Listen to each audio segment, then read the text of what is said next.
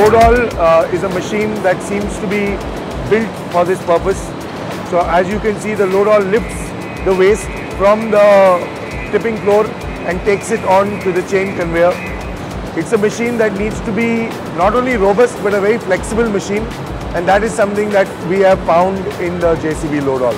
It's also very effective in the compost shed when we have to uh, create windrows of the compost and keep moving them to ensure the uh, it can also be used uh, effectively with a grab bucket as well as with a plain bucket.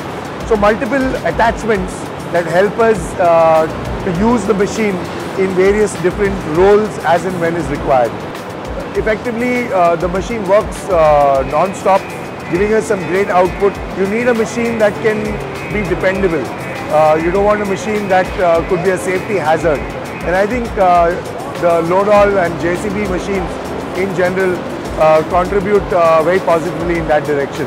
I think very satisfied with this kind of uh, uh, service support that comes from JCB, from their dealers and from the machine itself.